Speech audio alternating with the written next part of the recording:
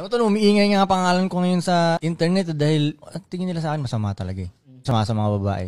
Yun ang tingin nila eh. Paano nagiging masama ako sa mga babae? Eh, mas masarap yung buhay ng babae ko kasi sa kanila. Hindi ko magets. Totoo. Oo nga. No?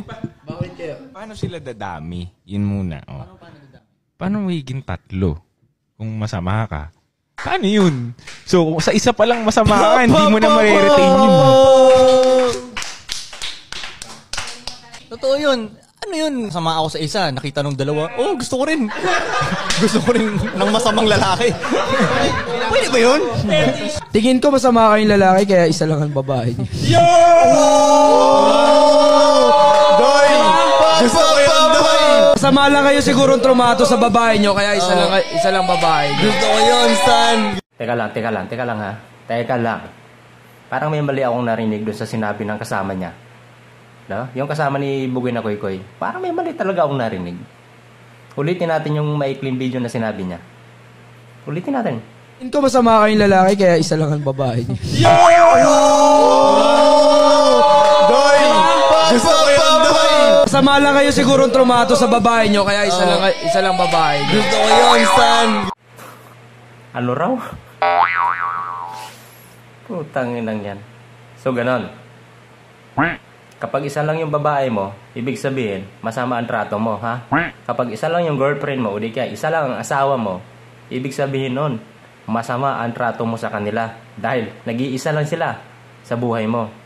Dapat pala, dagdagan mo sila, gawin mo dalawa, tatlo, apat, lima, or higit pa, para maipakita mo sa maraming tao, o di kaya sa mga barkada mo na maganda ang pagtrato mo sa mga babae. Eh, paano naman yung mga lalaking isa lang yung babae nila? Isa lang yung asawa nila? Isa lang yung girlfriend nila? Kasi ibig sabihin pala, hindi maganda yung pagtrato nila sa mga kanilang partner. Utang na, hindi ko maintindihan. Natatawa talaga ako doon sa sinabi nila. Ganun pala yung mindset nila, di ba? Kaya pala tatlo yung asawa ni Bugoy na Koy Koy dahil maganda yung pagtrato niya sa mga babae. Okay. Ah, Sabihin na natin maganda pagtrato niya sa mga babae kasi maganda nga ang buhay nila. Pero wag wag naman sana sabihin ng kasama niya na ano, 'di ba? Na nag-agree pa siya do sa sinabi ng kasama niya na kaya lang isa lang ang babae niyo dahil masama ang pagtrato niyo sa kanila, hindi maganda ang pagtrato niyo sa kanila. Parang ewan ko. Dili na lang ako mag-talk, kayo na bahala diyan. Yung ang dami-dami mong iniisip, dumagdag pa tong sinabi nila. Paano yun? Kawawa naman yung mga lalaki palang ano, no? Ah, isa lang yung asawa, isa lang yung girlfriend nila, isa lang yung babae nila. Masama pala ang trato nila.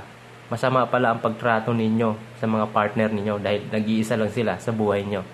Kung masama ang pagtrato nyo sa kanila, dapat nat natulpo na siguro yung mga to. Kasi isa lang eh. Ayun ako. Bahala na kayo dyan. Bahala na kayo mag-comment dyan. Bahala na kayo mag-react dyan. Hanggang dito na lang. Iisipin ko pa kung paano naging tama yon Yung sinabi nila. Sige. Maraming salamat sa panonood. Bye-bye. Mafia.